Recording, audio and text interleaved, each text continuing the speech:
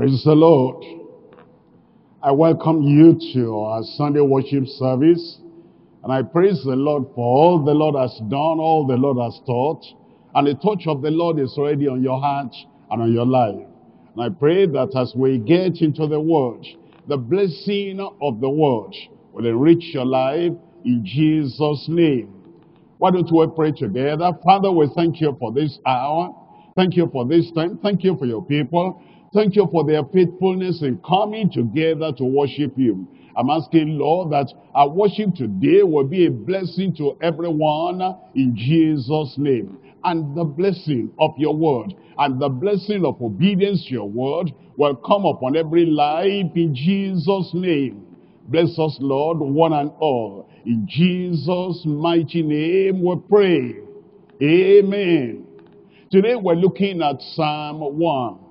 Very familiar passage of scripture. And we're reading from verse 1 all through to verse 6. Please open your Bible. In Psalm 1, reading from verse 1, Blessed is the man that walketh not in the counsel of the ungodly, nor standeth in the way of sinners, nor sitteth in the seat of discomfort. And then in verse 2, it says, But his delight is in the law of the Lord. In his law does he meditate day and night. Verse 3 says, And he shall be like a tree planted by the rivers of water, that bringeth forth his fruit in his season. His leaf also shall not wither, and whatsoever he doeth shall prosper.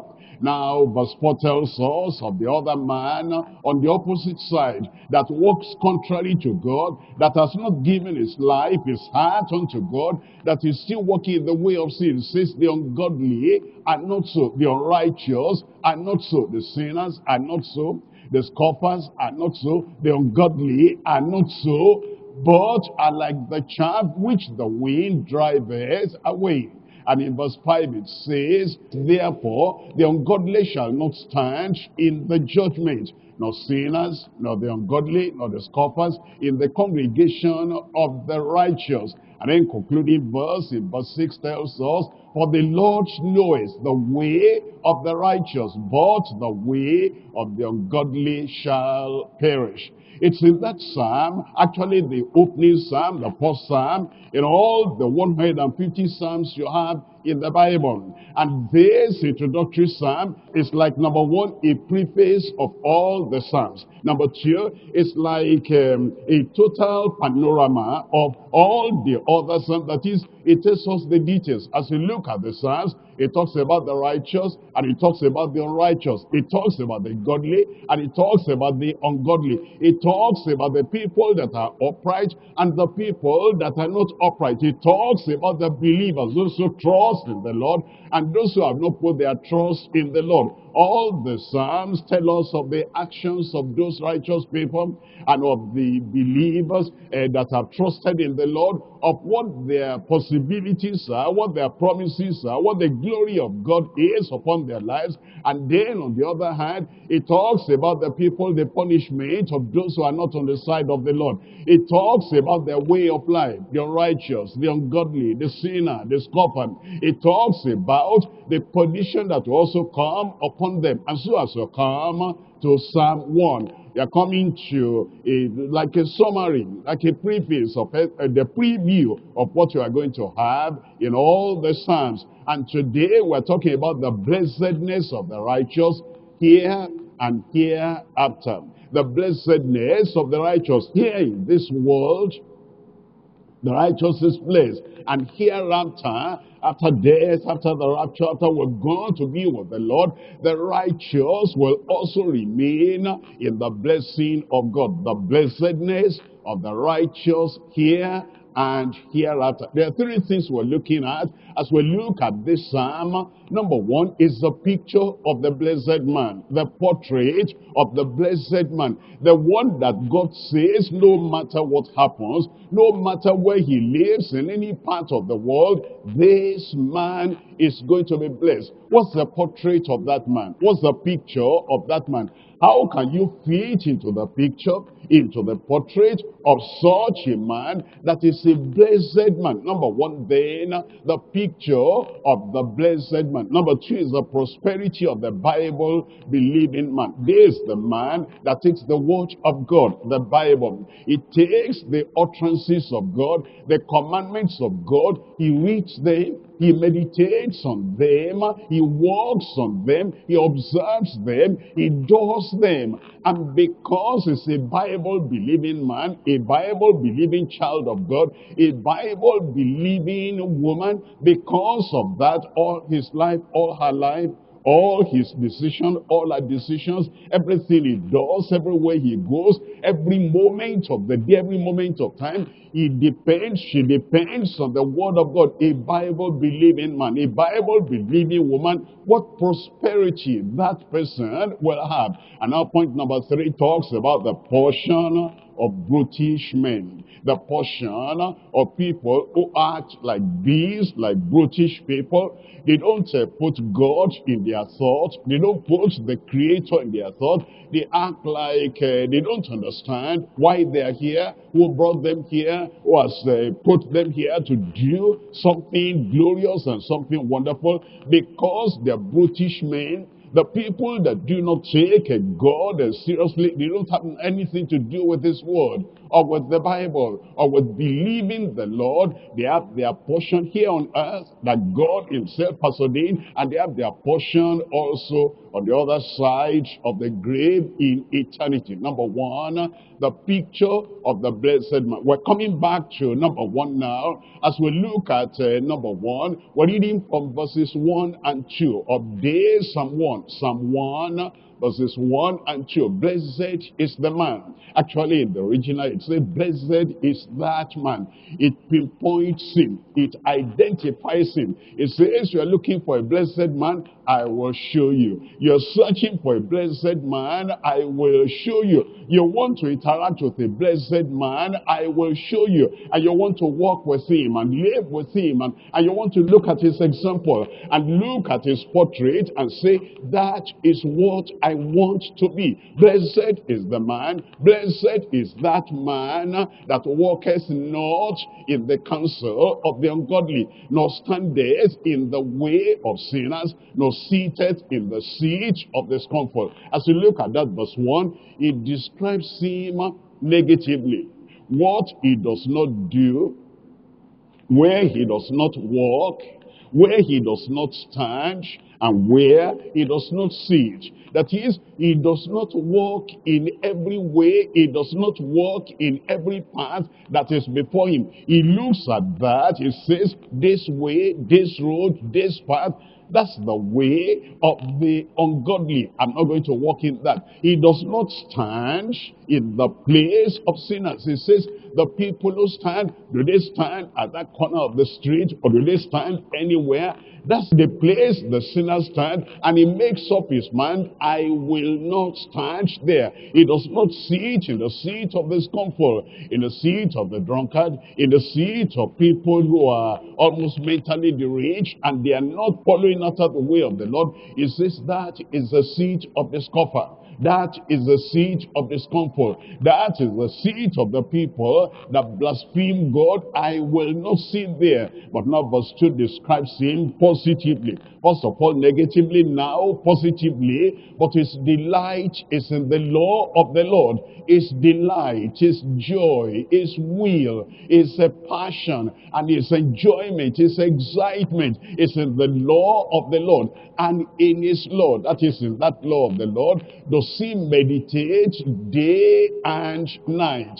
And let's join verse 3. It says in verse 3 here, And he shall be like a tree planted by the rivers of water. Is uh, is a refreshed tree, is a fruitful tree, and it's always a beautiful, it says, is planted there, is stationary there, that bringeth forth his fruit in his season. His leaf also shall not wither, his leaf also shall not wither. What whatsoever he doeth shall prosper. Looks like I'm talking about you. You'll be the blessed man and the blessed woman in Jesus' name. Now, as we look at this picture and this portrait of the blessed man, there are three things we should look at here. Number one is description. How do you describe him? How do you describe that blessed man? How do you describe this man that heaven says is going to be blessed? Whatever is happening on earth, whatever is not happening on earth, this man,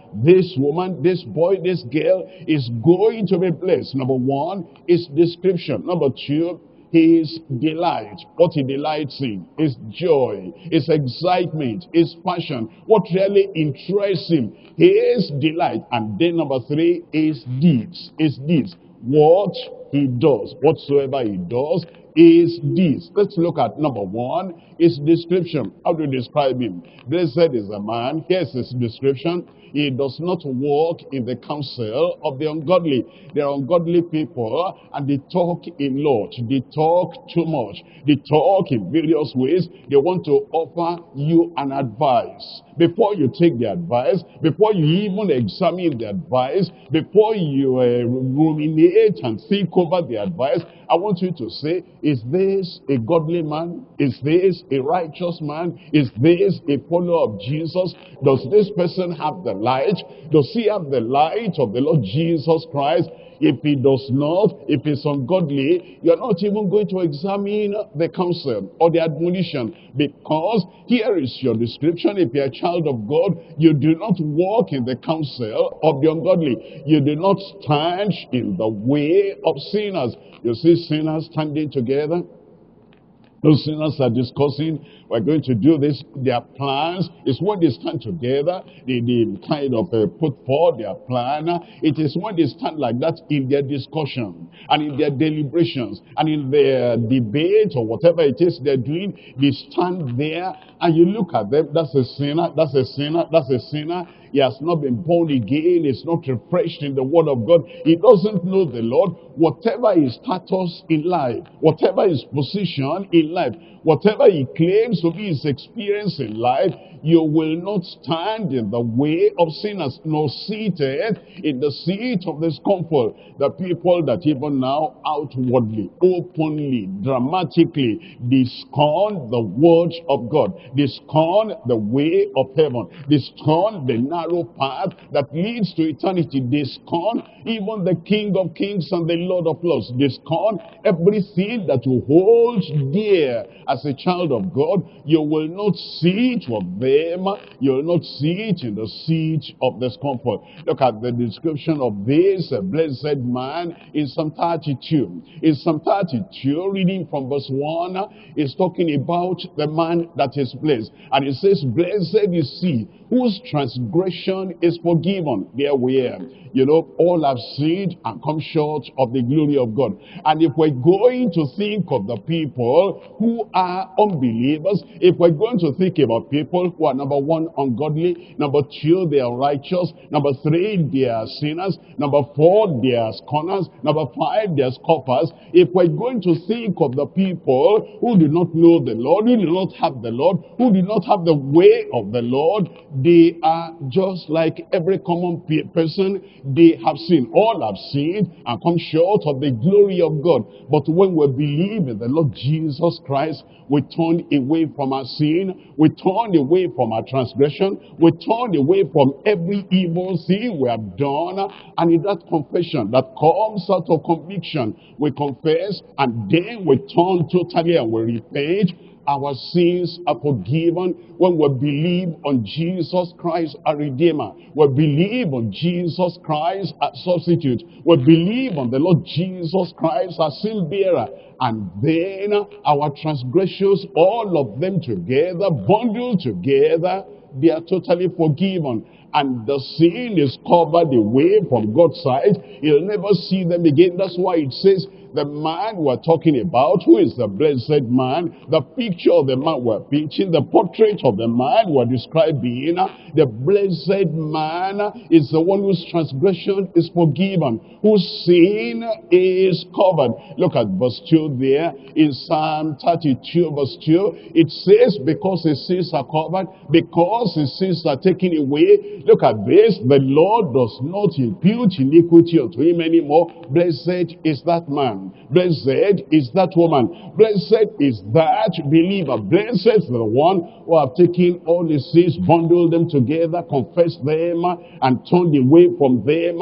And he believes and he rests on the blood of Jesus Christ, the blood of the Lamb, that takes away the sin of the world. He rests in that to cleanse all the sin and to put everything away and to put everything in the depths of the sea that they'll never be remembered against him anymore. Blessed is that man unto whom the Lord imputeth not iniquity and in whose spirit there is no guile. After he is saved, after he is born again, after the sins are forgiven, is also set free in his spirit, in his mind, in his soul. And it says there is no guile now, there's no righteous unrighteousness now in his spirit. It tells us about this man in Psalm 119, Psalm 119, reading from verse 3 the blessedness of the man and the glory of the man, the goodness in the man. In Psalm 119, reading from verse 1, it tells us in verse 1, it says, Blessed is the man. This is the blessed man we're talking about. Blessed are they that keep his testimonies and that seek him with the whole heart. These are the people, now they are already blessed. They are children of God. Their sins are forgiven. Their sins are cleansed and the word of God is taking effect in their lives and they're undefiled in the way and they walk in the law of the Lord. They walk in the word of the Lord. They walk in the revelation of what God had revealed that this is how a believer ought to live. If any man is in Christ is a new creature, all things are passed away and behold, all things are become new. And he tells us about this man in verse 2. In verse 2 it says, Blessed Blessed are they that keep his testimonies and that seek him with the whole heart. They are not coming to God with a superficial attitude. They are not coming to God with half-heartedness, but their whole heart, their whole mind, their whole soul, their whole love, they devote to seeking after the Lord. And then he says in verse 3 about these people, it says they also do no iniquity. They are born again and they do not continue in sin. They are born again, they are children of God, and they also do no iniquity because they walk in his ways. They walk in his ways. In Luke chapter 11, verse 28, Luke chapter 11, reading from verse 28, we have the words of Jesus Christ himself about the people that follow after the Lord, about the people that take the Lord to be their Savior, to be their Redeemer. But he said, yea, rather, blessed are they that hear the word of God and keep it. Blessed are they. It's not just that, okay, I've heard the word of God, that's not enough. If we are going to be blessed, if I'm going to be blessed, our blessing demands that we hear the word, we meditate on the word, we deal the word, we decide on the word, and we keep the word of the Lord.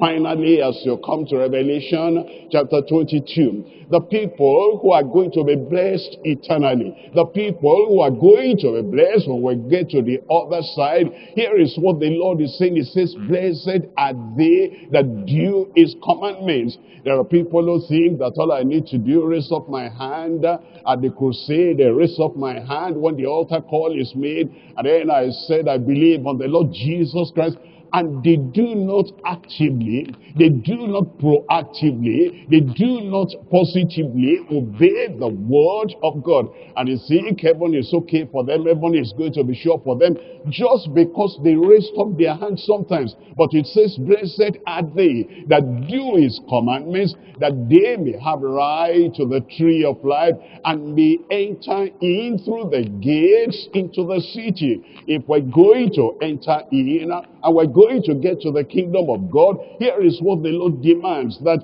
we're doing the commandments of God. We have the grace, we have the love, we have the desire, we have the mercy of God, we have the cleansing of the blood of the Lamb, we have the strength that He has given us by the Holy Ghost, and we do those commandments. That gives us the description of the man that is blessed. Number one is description. Let's come to number two now. His delight. His delight. And it tells us in Psalm 1, reading from verse 2. In Psalm 1 reading from verse 2, it says, His delight is in the law of the Lord.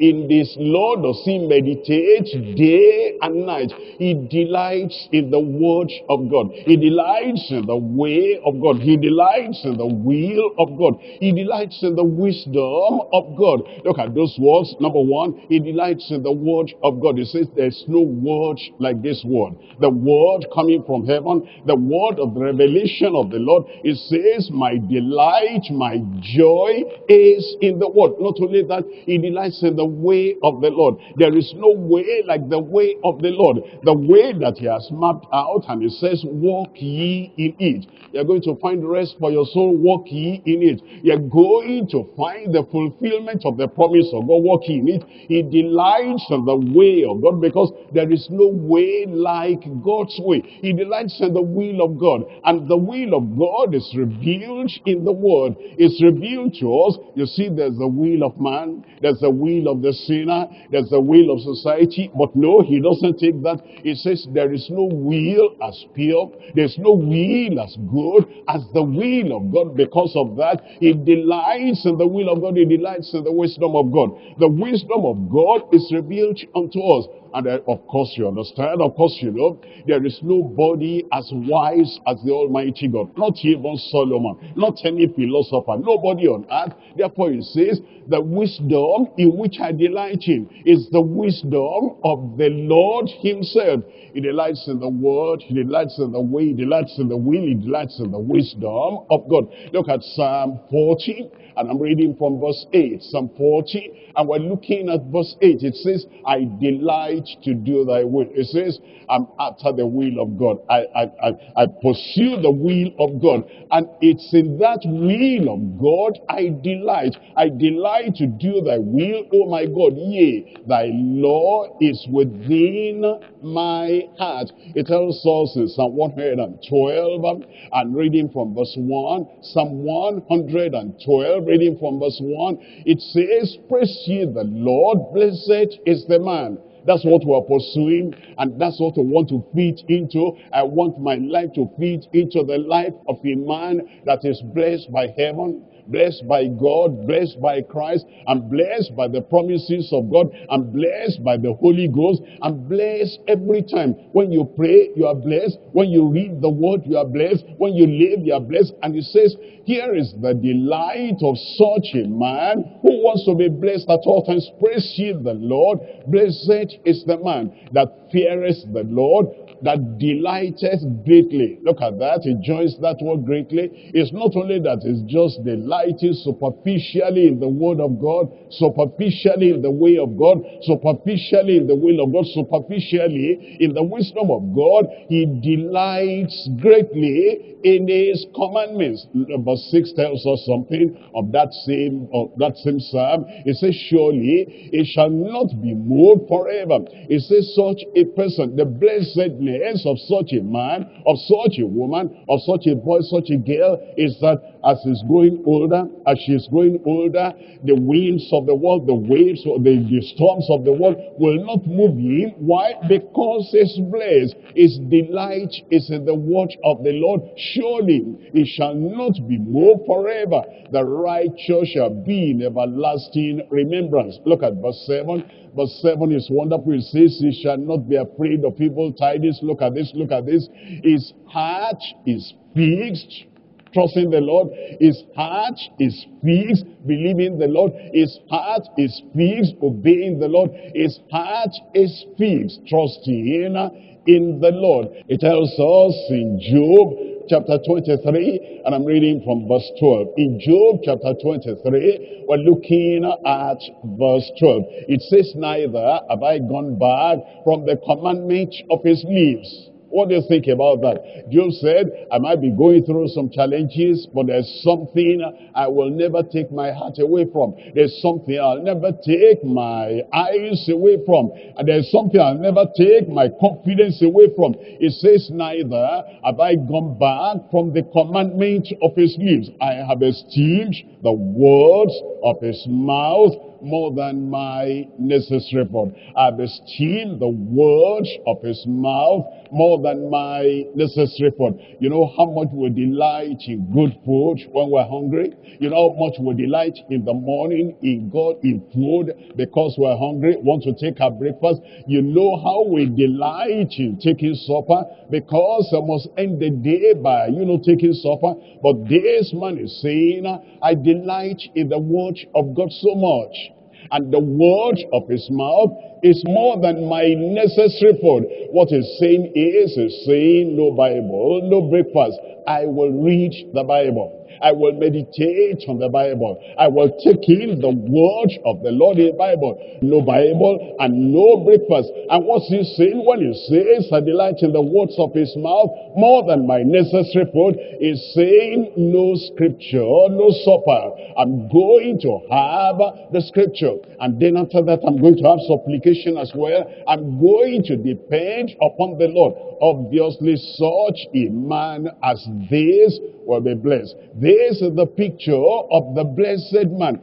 We have seen his description. Number two, we have seen his delight. Now we see his deeds, the deeds of the blessed man. You know, if we're going to be blessed, we must do something and must keep on doing that thing so that the blessings of God will be flowing into our lives from the inexhaustible river of the blessedness of God. We're looking at Psalm 1 verse 2. It says, but his delight is in the law of the Lord. And in his law does he meditate day and night. And then in verse 3 now, it says in verse 3 that he shall be like a tree planted by the rivers of water.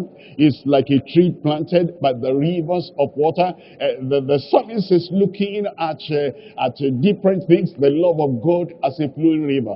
The grace of God God as a flowing river, and the mercy of God as a flowing river, and the power of God as a flowing river, and the strength of God as a flowing river. And he says, This man, it shall be like a tree that is planted by the rivers of water, is planted by the grace of God, is planted in the love of God, is planted in the mercy of God, is planted in the strength of God, is planted in the might of God, because he is so planted in the rivers of water. That's why he bringeth forth fruit in a season, and his leaf also shall not wither, and whatsoever he doeth, that's his deeds, whatsoever he doeth, whatsoever he doeth shall prosper. That's why the word of God encourages us every time we must be doers of the word. In James chapter 1, James chapter 1, we're reading from verse 22.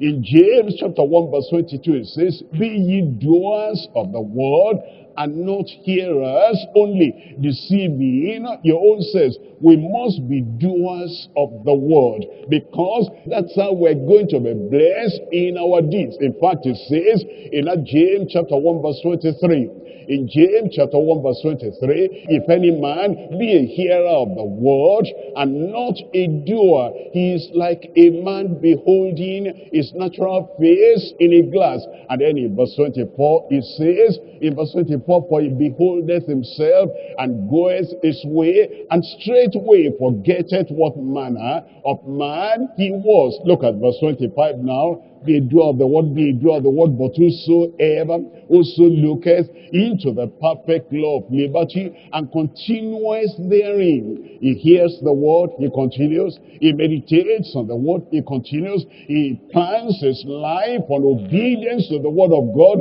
and he continues. He continues therein. He being not a forgetful hearer, but a doer of the work. A doer of the work. A doer of the work. Look at this. This man shall be blessed in his deeds. This man shall be blessed in his deed. And actually, that is how God answers our prayers because we're doers of the word of God. In First John chapter 3, verse 22. First John chapter 3, reading from verse 22. It tells us in First John chapter 3, verse 22, it's telling us about how God answers our prayer. When we know that we are based on the word of God, we are confirmed on the word of God, and we are uh, totally established on the word of God. Open your Bible, First John now, chapter 3, and we're reading from verse 22. It says, and whatsoever we ask, we receive of him. Whatsoever we ask, we receive of him. Why? Because we keep his commandments. That's the blessed man. And when your prayers are answered and you're blessed, when God gives solution to your problem and you're blessed, it says that whatsoever we ask, we receive of him because we keep his commandments and do those things that are pleasing in his sight. And then he tells us in verse 23, in verse 23, he says, and this is his commandment, that we should believe on the name of his son Jesus Christ and love one another as he gave us commandment. Then verse 24 says, he says, and he that keepeth his commandments dwelleth in him, and he in him. And hereby we know that he abideth in us by the Spirit which he has given us. By the Spirit which he has given us. And now we come to point number two. We've seen the picture of the blessed man. Now we're going to see the prosperity of the Bible-believing man. The Bible-believing man, that's the blessed man. The Bible-believing man, that's the born-again man. The Bible-believing man, that is the one that bases his life and his behavior and his action and everything he does, he bases everything on the word of God. The prosperity of the Bible-believing man. And we're looking at uh, Psalm 1 and we're looking at verse 3. Looking at 1 and looking at uh, verse 3. It says, and it shall be like a tree planted by the rivers of water. Is planted by the rivers of water. It's like he has foundation. It's like he has sustained foundation. It's not like he's there today, it's not there tomorrow. It's not like he's planted there and then he's uprooted the following week and then it's by that river, by that river, uh, every week by a different river. No, he's like a tree that is planted by the rivers of water. He has a sustained foundation. And then it goes on to say that bringeth forth his fruit, he bringeth forth, he bringeth forth, he makes an effort, he bringeth forth, he does something, he bringeth forth, and faithfully is doing all they ought to do so that fruit will be coming out every time that bringeth forth his fruit in his season. Is steadfast about it in bringing it forth. Is steady about it in bringing it forth. And is committed to it every time in bringing it up. He has his steadfast faithfulness. And then his leaf also shall not wither. His leaf also, will be evergreen. He'll not uh, feel the drought. He'll not feel the famine. He'll not feel uh, the, the, the effect of a changing climate. He brings forth his fruit in his season. And his leaf also shall not wither, and whatsoever he doeth shall prosper. He is fruitful. Is bringing forth fruit every time. As we look at that verse 3, I'm looking at three things. Number one, his sustained foundation. His sustained foundation. Number two, his steadfast faithfulness. is steadfast faithfulness. Number three, is satisfactory fruitfulness. Come to number one. We're looking at uh, Psalm 1 verse 3, the first part there. It shall be the blessed man, he shall be the born again man, he shall be the devoted man, he shall be like a tree planted by the rivers of waters. He has foundation is planted. It's not just a, a, tree that just came up by itself.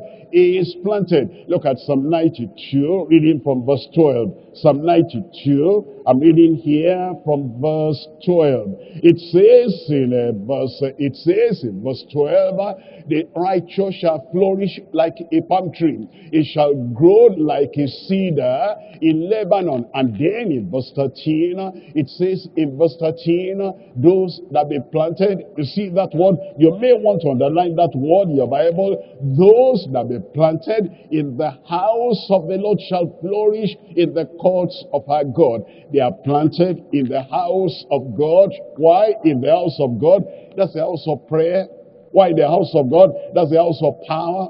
Why in the house of God? That's the house of mercy. Why, why the house of God? That's the house of love. Why is, why is he planted in the house of the Lord? That is the house where God operates. That's the God where God moves. The creator of the heavens and earth is stationed there and is working there. And this man, blessed man, is planted in the house of the Lord and he shall flourish in the courts of our God. Shall flourish in the courts of our God. In verse 14, it says in verse 14, they shall still be bringing forth fruit in old age because they are planted. It's not the age that matters, whether they are young they are old, they are planted. They are planted in the house of the Lord. They are planted by the rivers of water. And because they are always planted there, that's how they'll be bringing forth fruit. Even in old age, have you found some people, they say, I'm getting old now. I don't have to attend Bible study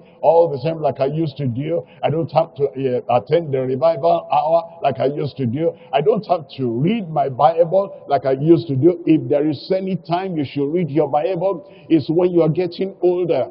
If there's any time you should be in church, it's when you are getting older. If there's any time you need to remain planted by the rivers of water, it's as you are getting older because then you are nearer heaven than 50 years ago. They shall still bring forth fruit in old age.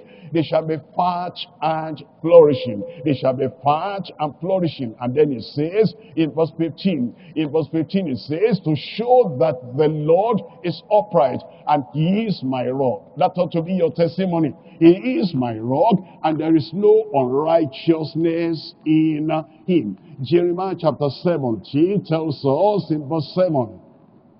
Jeremiah chapter 17, reading from verse 7. It says, blessed is the man. Uh, you know, uh, David has spoken about the blessedness of the man, and then other parts of scripture, blessedness of the man. Jeremiah the prophet now says, blessed is the man that trusteth in the Lord. He trusteth in the Lord, whose hope the Lord is, whose hope the Lord is is never hopeless. This man is blessed. Look at the portrait of the man. Look at the prosperity of the man. And look at the promise that is given to the man. The Lord is his hope. In fact, it says in verse 8, in verse 8 it says, For he shall be as a tree planted by the waters. The same thing. It shall be as a tree planted by the waters. It's uh, refreshed every time. It's fruitful every time. It's bringing forth fruit every time. And whatever changes are all abroad does not get to him, does not get to her,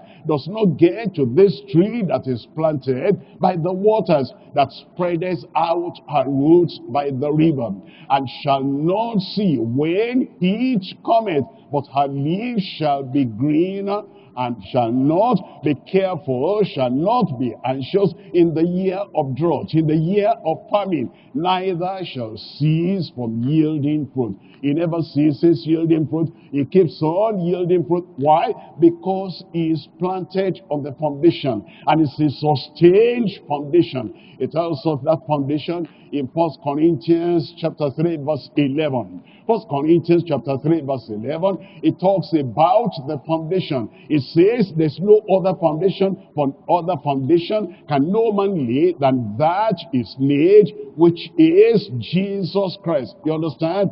If you say is planted by the rivers of water. I told you already, the river of the peace of God, and Jesus is our peace. The river of the love of God, and Jesus is the manifestation manifestation of that love and the river of the mercy of God. And Jesus is the manifestation of that mercy and the river of uh, the forgiveness of God, of the goodness of God. And Jesus the foundation of everything. And he says, if we're going to have that sustained foundation, be planted in Christ abide in Christ, remain in Christ, be secured in Christ, the sustained foundation. That's the foundation Jesus Christ as Savior. That's the foundation, Jesus Christ as Sanctifier. That's the foundation, Jesus Christ our Healer. Jesus Christ our Redeemer. Jesus Christ our Deliverer. Jesus Christ our Baptizer in the Holy Ghost. Jesus Christ that is made redemption, is made justification, is made sanctification, is made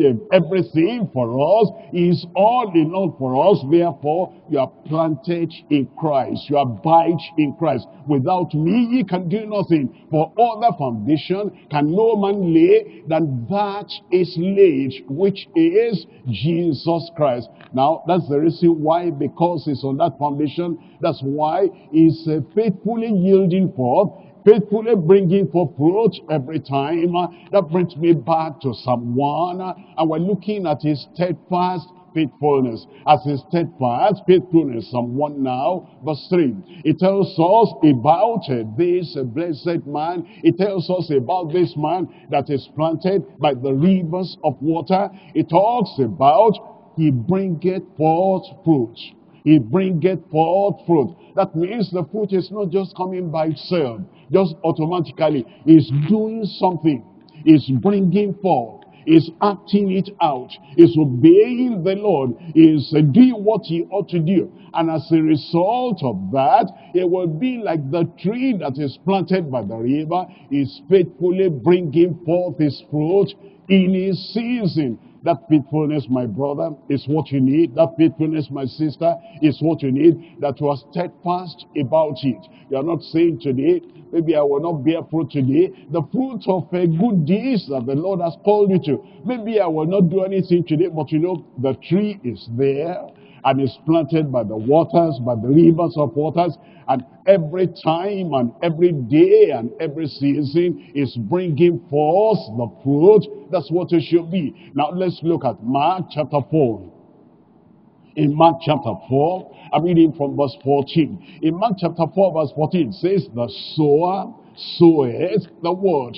The sower soweth the word. And because the word is sown in your heart, all the wayside, you dig it up again so that you will not sow by the wayside. All the land that is filled with pebbles and stones, you gather up the stones and you cultivate that land and the thorns and the thistles that are there, you rake everything up so that the word of God falls into fertile ground. And then it says now the kind of fruit you are going to bear. In verse 20, it says in verse 20, and these are they which are sown on good ground. These are they which are sown on good ground. It is giving us another picture. It's talking about the seed. It is sown in your heart. It's sown in my heart. And day and night you meditate, day and night I meditate. And because we meditate on that word, it says now is bringing forth fruit because our heart is good ground, our mind is good ground, our intelligence is good ground. Where the word is planted, where the seed of the gospel is planted, is good ground. And then it says, he receiveth it, and he brings forth fruit, some 30 fold, some 60 fold, and some and hundredfold. It says in different areas of our lives, we're bearing fruit. In different areas of our life, we're bringing forth 30 fold, we're bringing forth 60 fold, and we're bringing forth a hundredfold. It says in John chapter 15, John chapter 15, talking about the fruitfulness of the believer. In verse 2 here, it says in John chapter 15, verse 2, every branch in me that beareth not fruit, he taketh away. The Lord Jesus Christ talking about the Father. He says the Father is the husbandman and is the one that is evaluating, is the one that is looking at the vineyard. And he says every branch in him Everyone that professes to believe in the Lord and is not bearing fruit and it thinks that, you know, empty religion is what's necessary, empty righteousness is what's going to do, every uh, empty reformation is what's going to do, and is not looking at the fruit he ought to bear. He says, every branch in me that beareth not fruit, he taketh away, and every branch that beareth fruit, he purgeth it, that it may bring forth more fruit. He He wants us to bring forth fruit and to bring more fruit every time. Look at verse 5. In verse 5 it says, I am the vine, and ye are the branches. He that abideth in me, and I in him, the same bringeth forth much fruit. Underline those words. He that abideth in me, and I in him, is not a person like a rolling stone, like that gathered slow moss. It's not like he's here, he's a wanderer, he's here, he's there, he's everywhere. He abides, he's stable, he's dependable, and he remains on that foundation. He's on a sustained foundation. He's planted, and he remains there by the rivers of water, and he says, the same bringeth forth much fruit, for without me ye can do nothing. Actually, it tells us in verse 16. In verse 16, it tells us the reason why he chose us. It tells us the reason why he has selected us. It tells us the reason why we're members of the body of Christ, where we're children of God. It says, ye have not chosen me, but I have chosen you and ordained you that ye should go and bring forth fruit and that your fruit should remain. That ye should go and bring forth fruit, that your fruit should remain. That whatsoever ye shall ask the Father in my name, he may give it you. He wants us to bear fruit. And when we come in connection with the Lord, marriage unto the Lord, and connected totally with the Lord, every time with the Lord, there's no, there's no choice. We're going to bear fruit. It tells us in Romans chapter 7 verse 4. Romans chapter 7, reading here from verse 4, is telling us what our connection with Christ will do and what our connection with the Lord will do. That if we're fully connected with Him, if we're really totally connected with Him, we're going to bear fruit. It says in Romans chapter 7, reading from verse 4, Wherefore, my brethren, Wherefore, children of God, wherefore the people who have tasted of the goodness of God, of the grace of God, the people who have been washed in the blood of the Lamb, who have been cleansed in the blood of the Lamb, the people that God said, come out from among them, and I will be your God, and ye shall be my sons and my daughters, says the Lord. It says those people who are brothers and sisters, members of the family of God, and who follow after Christ, and who have of the grace of God. Wherefore, my brethren, ye also are become dead to the Lord by the body of Christ, that ye should be, look at this, that ye should be married to another, even to him who is raised from the dead, that we should bring forth fruit unto God. We're married unto Christ as Savior.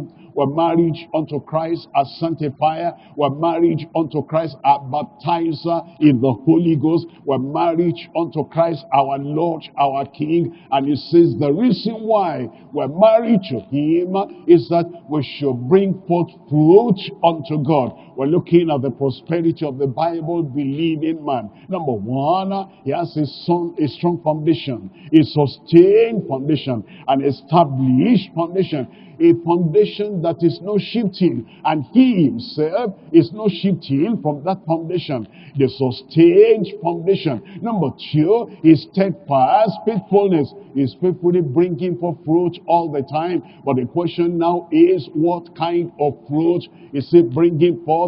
Number three now is satisfactory fruitfulness. Is satisfactory fruitfulness. We're looking at Psalm 1 and we're looking at verse 3 it says, and he shall be like a tree. Who is this? This is the blessed man who walketh not in the counsel of the ungodly. This is the blessed man who standeth not in the way of sinners. This is that blessed man we're talking about who does not sit in the seat of the scornful. This is that blessed man who delights in the word of God, who delights in the will of God, who delights in the way of God, who delights in the wisdom of God, and in his word, in his way, in his will, in his wisdom, does he meditate day and night. And then it says, he, that person, shall be like a tree planted by the rivers of water. And then it says, he bringeth forth his fruit in his season, and his leaf also shall not wither, and whatsoever he doeth shall prosper. You find in that verse, his fruit he brings forth in his season. What kind of fruit? That brings us to this uh, third part is satisfactory fruitfulness. We're looking at Matthew chapter 3, verse 8. Matthew chapter 3, verse 8 is talking about the fruit of this blessed man. Bring forth therefore fruits meet for repentance. You profess to have repented. Let's see the fruit. You profess to have confessed your sin and that you hate those sins and you turn away from them permanently and you turn to the Savior who has forgiven you, who has set you free. Let's see the fruit. Bring forth the fruit need for repentance the fruit that's according to your repentance and the fruit that aligns with your repentance. Didn't you say, Lord, I'm sorry? Let's see the fruit of that being sorry. Didn't you say, Lord, I'll not go that way again? Let us see the fruit that goes along with that repentance. The fruit need for repentance. It means what you were before you are no more. You were in darkness before, no more in darkness. You were doing evil before, no more evil. You were in a gang before, you are not in that gang anymore. You are now a new creature in Christ, and your life is totally new. Your life is totally renewed, and your life is now righteous in the presence of the Lord. And what you do in secret, and what you do in the open, everything is according to the word of God, and everything goes along with your repentance. Bring forth therefore the fruits meet for repentance. It tells us in Romans chapter 6, reading from verse 22, the kind of fruit will bring forth. When it says, but now being made free from sin, we're born again, being made free from sin. We're now abiding in Christ. It says we're made free from sin. The blood of Jesus has cleansed us. And if the Son therefore shall make you free, ye shall be free indeed. We're made free from sin and we become servants to God. Become servants to God. We're no more serving Satan. We're no more serving sin. We're no more serving self. We're no more serving the occult society. We're no more serving the powers of darkness. We're no more serving demons. We're no more serving the enemies of righteousness. It says now we become the servants to God. Look at this. Ye have your fruit unto holiness. When he talks about satisfactory fruitfulness, he's saying that we're bearing fruit, the fruit of repentance, the fruit of righteousness, and the fruit of holiness, and the end, everlasting life. Actually, he talks about the fruit of the Spirit in uh, Galatians chapter 5, verse 22. Galatians chapter 5, uh, verse 22. But the fruit of the Spirit is love. That's the fruit, and we're, we're bearing that steadily. We're bearing that steadfastly. We're bearing that solidly. We're bearing that openly. The fruit of the Spirit, love, joy, peace. There is joy in our heart now. We don't wear long faces and gloomy appearance as if, you know, the old world is on us now. As if our condemnations are not gone. As if all our guilt is not gone. As if we're not free from the yoke of the past. As if we're carrying all the problems of the world on our back.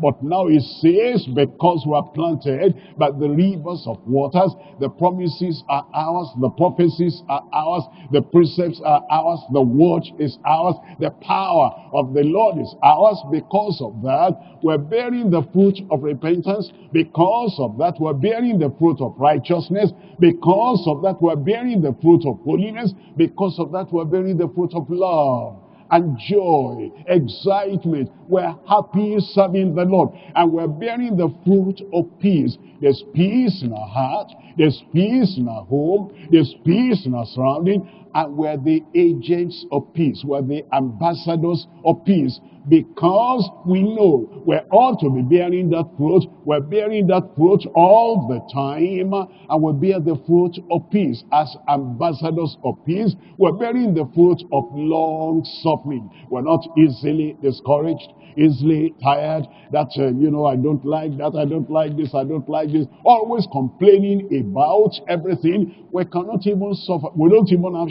short suffering. If there's any word like that. But it says the fruit we bear is the fruit of long suffering at home. No divorce, no separation in the community. There's no conflict, there's no confrontation because we have the fruit of long suffering and the fruit of gentleness. There's no harshness, there's no hardness, there's no oppression, and there's no, you know, pugnacious spirit. Gentleness. We're gentle to little children. We're gentle to our wives. We're gentle to our neighbors. And the fruit of goodness and the fruit of faith. And he tells us in verse 23, it says, meekness as well and temperance. Against such there is no law. Against such there is no law. We're coming to Philippians now. In Philippians chapter 1, we're looking at verses 10 and 11. He's still talking about the fruits we bear. The fruit of righteousness that we bear and the fruit of goodness that we bear. He's saying in Philippians chapter 1, reading from verse 10 that because we're now children of God and because we're planted by the rivers of waters and we're planted there, we're sustained there, we're stable there, and we're not moving here and there, we're bearing fruit. The fruit of repentance, praise the Lord, is there. The fruit of righteousness, praise the Lord, is there. The fruit of holiness, praise the Lord, is there. And the fruit of the Spirit of love, of joy, of peace, of long-suffering, and of temperance, of of meekness. All that fruit is there. And now he tells us in Philippians chapter 1 verse 10, he says that she may approve the things that are excellent, that she may be sincere and without offense till the day of Christ. Uh, don't, don't forget that word there. Don't overlook that word. Till the day of Christ. Without offense. Without offense. Day after day. One day at a time. Gradually. And as we're moving on, it says we make sure that we're bearing the fruit. Our fruit is not offensive. Our fruit is not uh, going the wrong way in the mind of anyone because we're without offense offense until the day of Christ. In verse 11, it says in verse 11, being filled with the fruits of righteousness. You see the fruit is talking about were filled with the fruits of righteousness which are by Jesus Christ unto the glory and the praise of God. In Colossians chapter 1 verse 10. Colossians chapter 1 reading from verse 10 is talking about the fruits we ought to be bearing, the fruit that is pleasing unto God, that she might walk worthy of the Lord unto all pleasing unto all pleasing. You remember Enoch,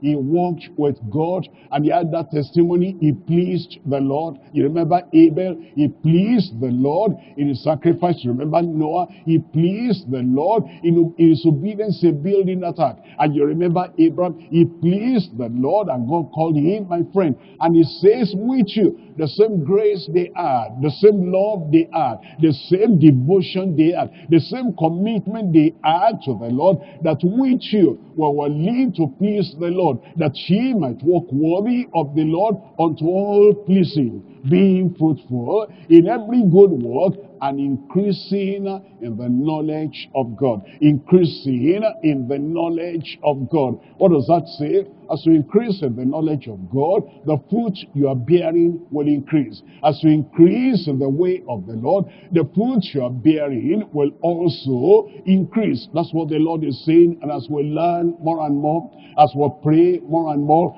as we are connected more and more with Christ, as we abide more and more with the Lord, we're increasing in knowledge, we're increasing in grace, we're increasing in the love of God, we're increasing in our consecration, we're increasing in, uh, in our delight in doing the word of God and doing the will of God, and our fruit also will increase. We've seen, we've seen the blessed man. Number one, we've seen the picture of the blessed man. Number two, we've seen the prosperity of the Bible-believing man. We come to point number three now. In point number three, we see the portion of the of brutishment, the portion of brutishment. Let's come back to Psalm 1, and we're looking at verse 4. Psalm 1 verse 4 it says, the ungodly are not so. It's like we have this good company of righteous people, gracious people, loving people, merciful people. And then as we're going on with them, we'll say he is blessed, she is blessed, that one is blessed, everyone is blessed. All of a sudden, we'll stop short and we say, look at that.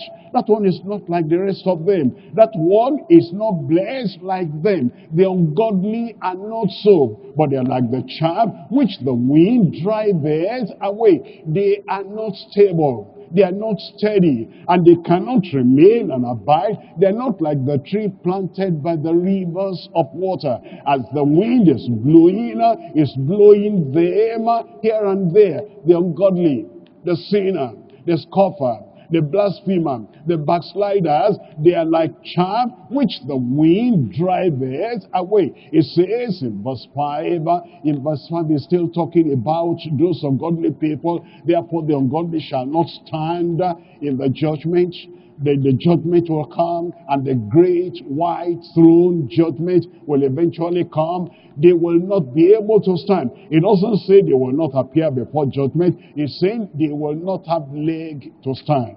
They will not have might to stand. They will not have any reason to give for every evil thing they have done. Their mouths will be shut. There will be no defense for them. Therefore the ungodly shall not stand in judgment nor sinners in the congregation of the righteous. And now in verse 6, bringing everything to a conclusion, he's talking about the righteous and talking about the ungodly. And he's saying that their ways are apart. Their roads are apart. Their paths are apart, and their destinies are apart. Therefore it says, For the Lord knows the way of the righteous. The Lord knows the way of the righteous. What way is that? That's a good way. What way is that? That's the narrow way. What way is that? That is the way of Christ. I am the truth. I am the way and I am the life. The Lord knows the way of the righteous, but the way of the ungodly shall perish. The way of the ungodly shall perish because it's not stable because it's not dependable. The way of the ungodly is like their lives are written on sand. It's like their principles are written on the sand at the seashore. And because of that, their pathway because of that, their wisdom. Because of that, their lifestyle. Because of that, their history. Everything will be blotted out. They will be forgotten and their way will be forgotten. The way of the ungodly shall perish. Now, in this, uh, in these uh, three verses, it's talking about three things. Number one, the chaff. The chaff. Number two, the carnal. Number three, the chasm, the gall, the peach, the distance between the righteous and the ungodly in eternity. Number one, the, un the ungodliness in the chaff the ungodliness in the chaff. Look at that verse 4 again. That's in Psalm 1, reading from verse 4. It says, the ungodly are not so, but they are like chaff which the wind drives away the wind driveth away. Connect those two words, the ungodly and then the chaff. The ungodly and then the chaff. The way the Lord is using the chaff here is saying the chaff is too light to be stable and the chaff is so light, the wind will drive it away. The wind will separate that chaff from the wheat eventually. And he's saying that is the ungodly. The ungodly are like the chaff which the wind drives away. Of course, you know that uh, when you peel off uh, what's in the, you know, at the back of the rice or the corn or whatever, and then the wind comes and drives everything away. In Job chapter 21, 21, reading from verse 18, is the nature of the chaff. It's talking about the thing that will happen to the chaff eventually. And in Job chapter 21, reading from verse 18, it says, They are as stubble before the wind, as stubble before the wind, and as chaff that the storm carries away. The storm of judgment will come. It will carry the chaff away. The storm of uh, the rebuke of the Lord will come. It will carry the chaff away. The whirlwind of the final judgment of God will come. And when it comes, there'll be nobody that will be able to hold that ungodly steady. And to say, stay there, nothing bad will happen. The, the ungodly will be like chaff that the storm of the judgment of God, the whirlwind of the judgment of God will carry away. We're told in Isaiah chapter 5. Isaiah chapter 5, reading from verse 24. Isaiah chapter 5, reading from verse 24. It says, Therefore, as the fire devoureth the stubble, it's talking about the next thing now, after the chaff had been driven away by the wind, after the chaff had been driven away by the wild wind, after the chaff had been driven by the storm of the judgment of God, here is what will follow. Therefore, as the fire devours the stubble, and the flame consumes the chaff, and the flame consumeth the chaff, so their root shall be as rottenness, and their blossom shall go up as dust, because they have cast away the law of the Lord of hosts. Underline that, because they have cast away the law of the Lord of hosts, because their mind is not in the law because their heart is not in the law, because their obedience is not to the law of God. It says because they have cast away the law of the Lord of hosts and despised the word of the Holy One of Israel. It says that's the reason why that wind will come and drive the chaff away and drive them into fire and they will be burnt. It says in Luke chapter 3. In Luke chapter 3, reading from verse, uh, reading from verse 17. Luke chapter 3, and we're reading here from verse 17. It says, whose fan is in his hand, and he will thoroughly purge his floor, and will gather the wheat into his garner. Look at this. And but the chaff will he burn with unquenchable fire. That's the end of the ungodly. That's the end, eternal end of the sinner who has not repented and who does not have any delight in the word of the Lord. It says that chaff, that ungodly person, that sinner, it says that unrepentant prodigal, backslider. It says that scoffer, it says that corner that will not come back and remain at the center and be planted again in the word of God. It says he'll be like chaff, and that chaff will he burn with fire unquenchable. We'll come back to Psalm 1 and we're looking at verse 5. In Psalm 1 verse 5, it's talking now about the unworthiness of the carnal the carnal, those who are not like the righteous, and those who are not fit to be in the congregation of the righteous. They are carnal in their thinking. They are carnal in their action. They are carnal in their behavior. They are carnal even in the novels they read. Eh, they are carnal as they follow after pornography. They are carnal as they follow after the way of the flesh. And it makes them ungodly. It makes them sinful. It makes them scornful. And it says, therefore, the ungodly shall not stand in the judgment. When the judgment comes, when the judgment arrives eventually, the ungodly, the sinner, the scoffer, the scorner shall not stand in the judgment, nor sinners in the congregation of the righteous. You can tell that he's talking about the future because now the wheat and the tares, they're all together.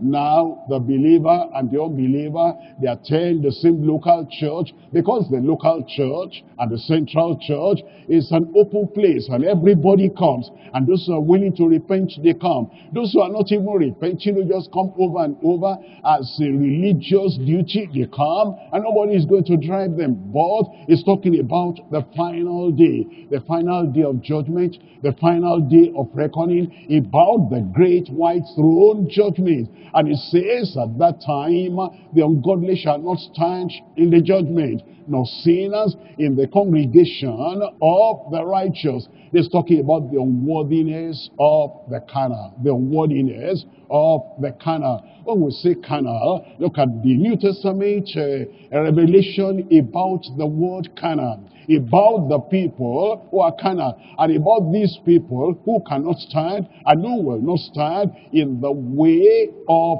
the people of God. They will not stand at the time of judgment. In Romans chapter 8 verse 6. Romans chapter 8, we're looking at verse 6. It says, For to be carnally minded is death. The chaff are carnal, the ungodly are carnal. The sinners are carnal. The unrepentant scoffers are carnal. And it says to be carnally minded is death. But to be spiritually minded is life and peace. Verse 7 tells us, in verse 7 it says, because the carnal mind is enmity against God. The carnal mind hates the word of God hates the doctrines of the word of God, hates the revelation of God, hates the authority of God. It says, I want to go my way. I don't want any God anywhere controlling my life because he has a carnal mind, is enmity against God.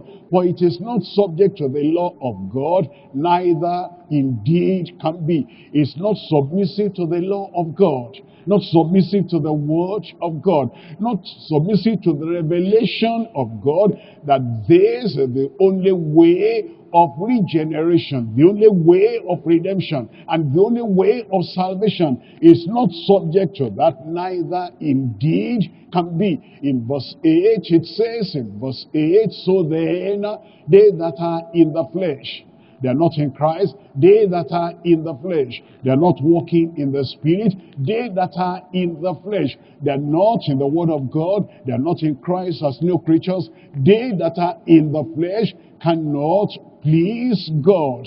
Look at Romans chapter 7. In Romans chapter 7, I'm reading here from verse 14. And so you understand what is saying about the carnal and about their unworthiness is standing at the day of judgment and standing with the congregation of the righteous.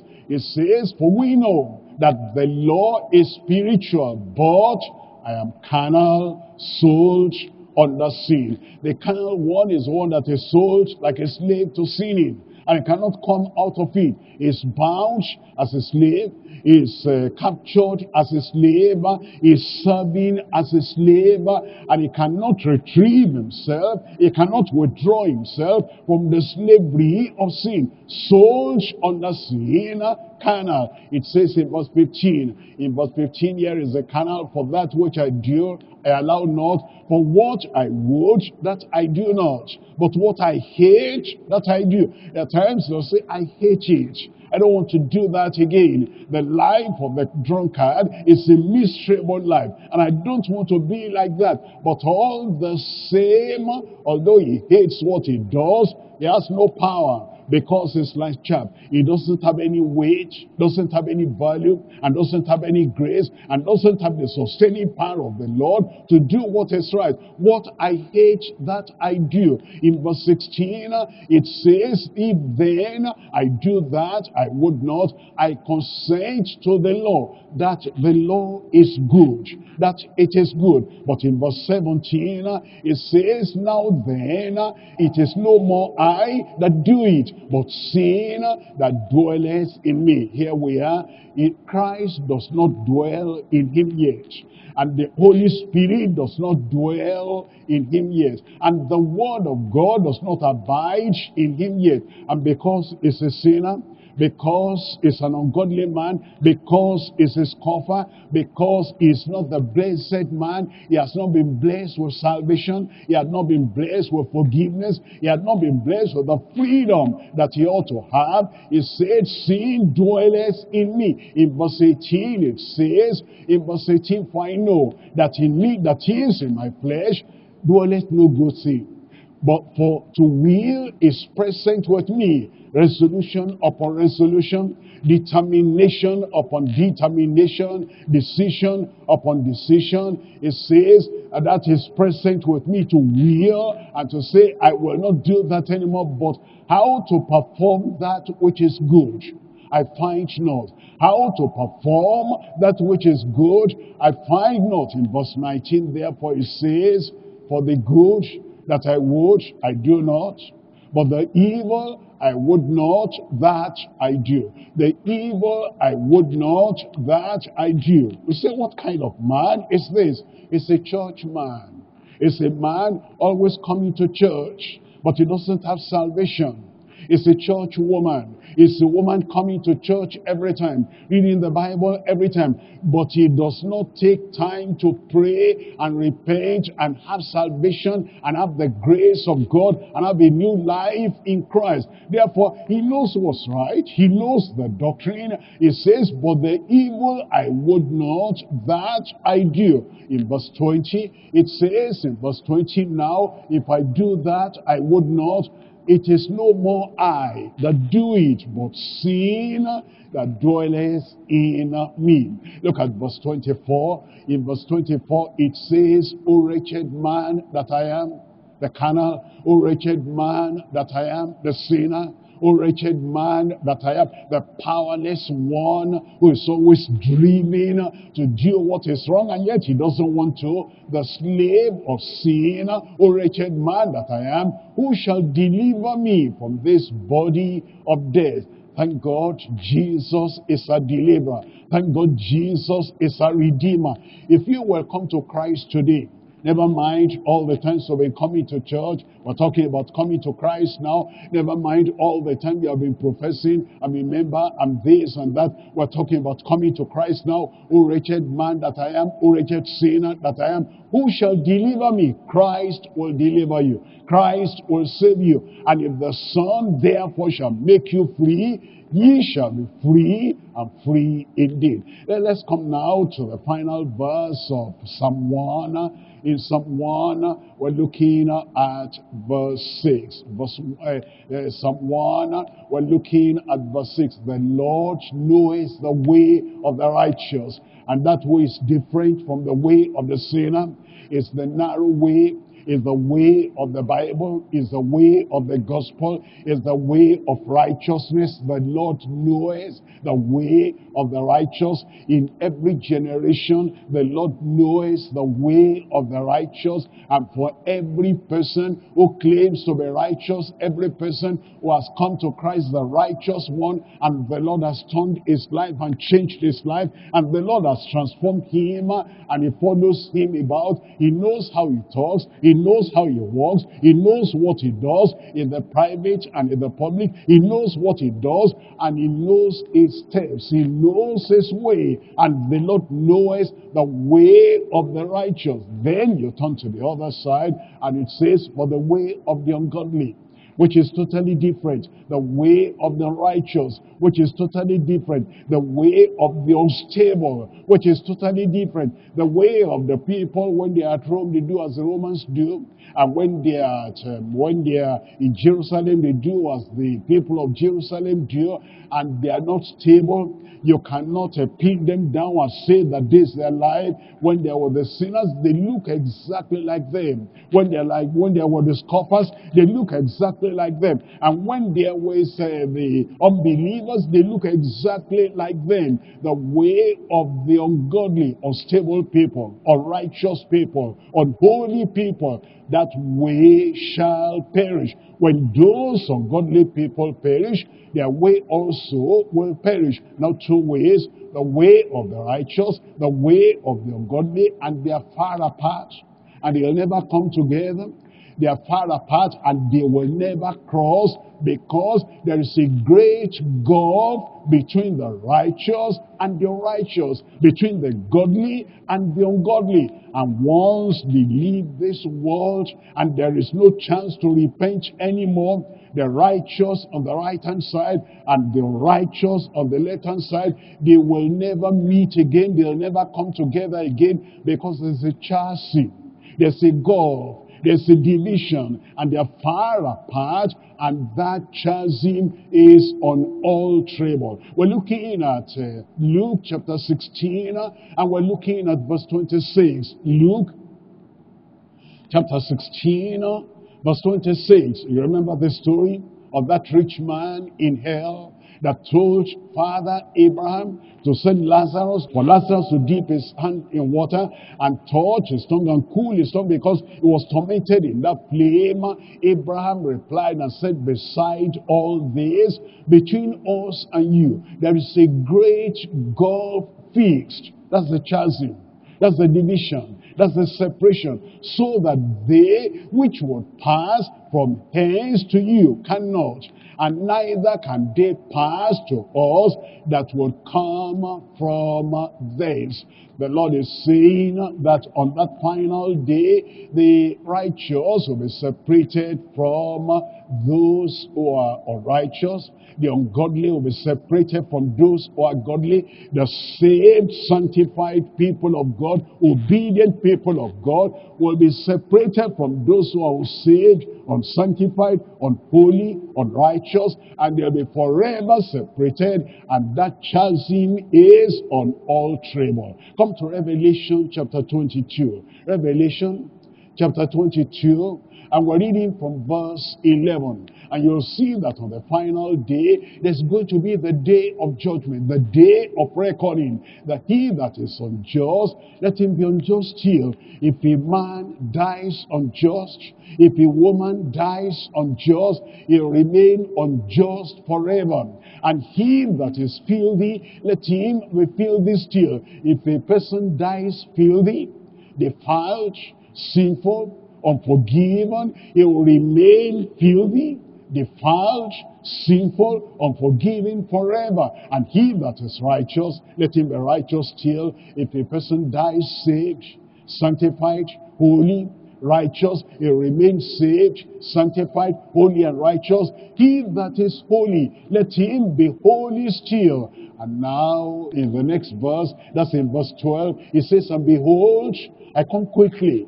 The Lord is saying, I come quickly. And as you can see the signs in the sky, you can see the signs on the earth. He is coming, and his coming will not be delayed. He says, Behold, I come quickly, and my reward is with me, to give every man according as his work shall be according as his work shall be. If he's a blessed man, he reward him like that. If he's a blessed woman, he reward him like that. But if he is ungodly, if he's unrighteous, and if he is a scornful man or woman, he'll be rewarded just like that. Behold, I come quickly, and my reward is with me, to give every man according as his work shall be. And then in verse 13, uh, it says, I'm Alpha and Omega, the beginning and the end, the first and the last. In verse 14, it says, Blessed are they here is a man again. Here is that woman again. The saved one, the righteous one, the sanctified one, the one that is abiding in the mercy of God, abiding in the grace of God, the one that is planted by the rivers of waters, the one that is meditating and delighting in the word of the Lord all the time, and the one that is walking according to the way of the Lord. Blessed are they that do his commandments, that they may have right to the tree of life and may enter in through the gates into the city. And while the righteous will enter in enter in and now inside the city, the city of God, inside the kingdom, the kingdom of God, and they are forever and ever in paradise, in heaven. Look at what will happen to the other people in verse 15. In verse 15 it says, For without are the dogs, the righteous have entered in, without are the dogs. The saved have entered into the city of God. The righteous are without, they are outside. The people who are planted by the rivers of water, the people who are blessed, the people who are saved, the people who are righteous, the people who are walking according to the way of the Lord every time they have entered into the kingdom. But now without are the dogs and the sorcerers and the sorcerers and the whoremongers and the adulterers and the murderers and the idolaters and whosoever loveth and maketh a lie, they'll be outside. You have your choice to make. If you're already a child of God, be planted by the rivers of water. If you're already a child of God, keep on meditating on the word of God. If you're already a child of God, be the blessed man that you're bearing fruit every time, the fruit of repentance and the fruit of righteousness and the fruit of holiness and the fruit of the spirit and the fruit of, uh, of divine uh, presence in your life.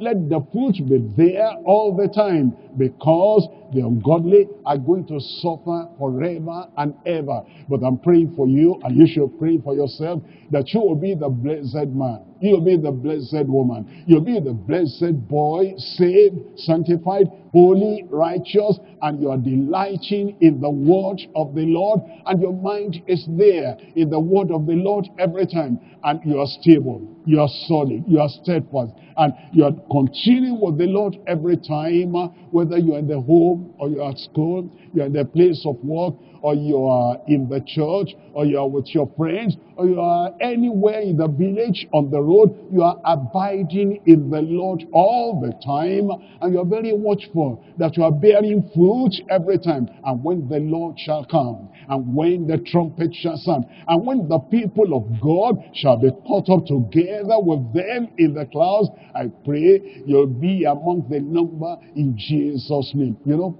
if it's going to be like that, we need grace. If it's going to be like that, we need the strength of God. If it's going to be like that, we need the backing of God and the support of God. And you need to say, Lord, I want your help more. You need to say, Lord, I need your grace more. You need to say, Lord, I need your stabilizing power and your strengthening power more in my life, grace more in my life. And that's why we're going to pray now that everything we've learned today about the picture and the portrait of the blessed man, everything we've learned about the productivity and the prosperity of the Bible-based man, that you are going to have it, and then you'll, you'll avoid the portion of the brutish man, the, uh, the portion of the beastly man in the final end in Jesus' name. Why don't you rise up? Why don't you rise up and concentrate on this now? Hearing the word is not enough. We must be doers of of the word. And the word must come from the head and come to our heart and say, Lord, I've seen the picture of the blessed man. Help me, Lord. I'll be that man, the description, I'll be that man, my sins forgiven, I'll be that woman, and I'm walking in the way of the Lord, and I do no iniquity, I'm obedient to the word, I'll be that man, I'll be that woman, your grace in me, tell the Lord, your strength in me, tell the Lord, and the firm decision, I will not walk in the way of the sinner, the firm decision, I will not stand in the way of sinners, and the firm decision. I will not take the counsel. I will not sit in the seat of discomfort. The firm decision, I will delight in the law of the Lord. The firm decision, I will rejoice in the law of the Lord. I'll walk in his way. I will take in his word. I will abide in his will. I will cherish the wisdom of the Lord. Tell the Lord, this word of God will be more precious to me than my breakfast, will be more precious to me than my supper. I'm going to take the decision, no Bible, no breakfast. I must read that word. I must give, take in that word. I must feed my inner man. I must feed my spirit before I feed the body and before I sleep at night no scripture, no sleep, no scripture, no sleep. The scripture must still come in again so that at the beginning of the day, at the end of the day, is scripture, it's Bible, is the word of the Lord that will keep me walking in the way of the Lord all throughout my life and my deeds whatsoever I do. I'll think of your word whatsoever I do. I think of your commandment whatsoever I do. I think about what you have ordained for me to do. And I do it in your grace. I'll do it in your strength. I'll do it in your power. I'll do it in your enablement. Lord, help me so that I'll be the blessed man. I'll be the Bible-based man. The Bible-based man. I have a sustained foundation. I'll not be wandering here and there. I'll not be like chap that is dreaming about and then this congregation at that time, another church, another time, another denomination, another time. They're roaming about from religion to religion and they're tasting religion like they're tasting palm wine. I'll not be like that. I'll be on the sustained foundation. I'll be steadfast in my faithfulness and I'll have satisfactory fruitfulness in the Lord. Lord, the portion of the brutish man will not be mine. The portion of the beastly woman will not be mine. For the mind of Christ, the heart of Christ, the life of Christ, I will have. And my destiny will be the destiny of the righteous, the destiny of the redeemed, the destiny of the sanctified holy people of God. The Lord will not reject anyone whosoever shall call on the name of the Lord shall be saved. And whosoever will call on the name of the Lord will receive all the strength we need, all the power we need, all the mercy we need, and all the righteousness we need, and all the assurance we need in the Lord. Tell the Lord, don't miss the time of prayer, and believe the Lord now he has answered. He never pushes away anyone. He never rejects anyone. Whosoever shall call on the name of the Lord will be answered. Let's pray together. Father, we thank you for this hour. Thank you for this service. Thank you for what you have revealed unto us.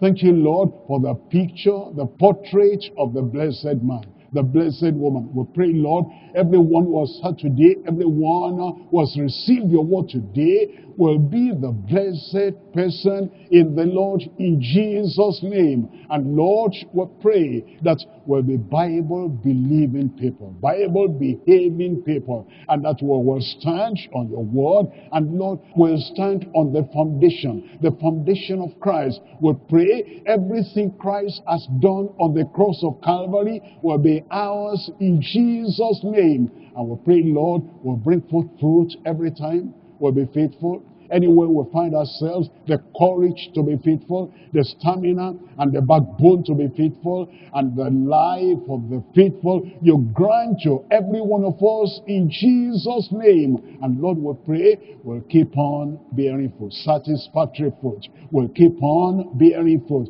And we pray, Lord, the portion of the brutish man, the portion of the beastly woman will not be ours in Jesus' name. And when the trumpet shall sound, and the dead in Christ shall rise, and we which are alive shall be caught up together to be with them in the clouds. I pray, Lord, my brother there, my sister there, my boy, my girl there, will not be missing on that final day in Jesus' name. Everything we need to be, everything we need to do, faithfully. Grant us the grace to do it now. Grant us the grace to be at the very center of your will, doing your will every time until you come. And so shall we ever be with you after that rapture has taken place in Jesus' name. Lord, we pray that during this week, the word we've heard will put to practice and we'll go everywhere publishing the word, publicizing the word, and preaching the word, proclaiming the word of truth. And this word will bear fruit in our mouth, in our ministry, in Jesus' name. Thank you, Lord, for everything you have done.